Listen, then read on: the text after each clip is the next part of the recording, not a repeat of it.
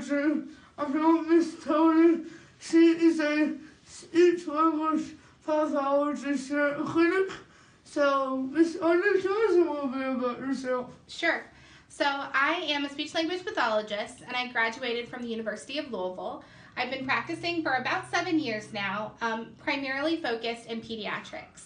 I started in the school system and then um, went on to do early intervention, home health, and outpatient pediatrics. Awesome. Eh, and say a lot working with the little kiddos. I do. Working with children is definitely my passion. Awesome. And what is speech therapy? So, speech therapy is a means of improving communication, and we address things like articulation or how well a child produces speech sounds so they are understood better by others.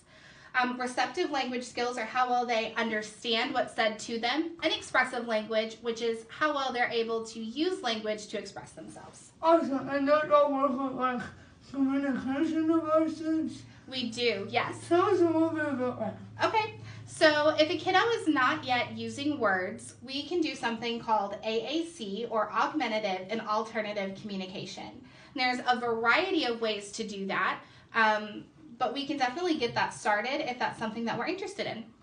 Awesome. And don't y'all do like food therapy? Because I know when my mom was trying to look for food therapy for me, it was kind of hard for her. So, Yes. doesn't speech do food therapy?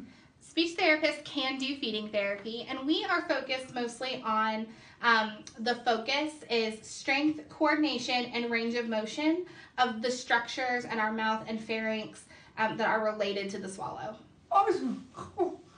And say that one, okay, I want to do speech therapy with this Tony at TheraTree. What is the best way to get that process started? Sure. So if you're interested in doing speech therapy here at the clinic, you can call our front desk at 270-688-8449 um, and let them know that you're interested in getting a speech therapy evaluation and they can get the ball rolling for you. You can also contact your physician directly and let them know that you're interested in having a referral sent to TheraTree for speech therapy evaluation. Awesome. And is there anything else you'd like to tell viewers today? Yeah.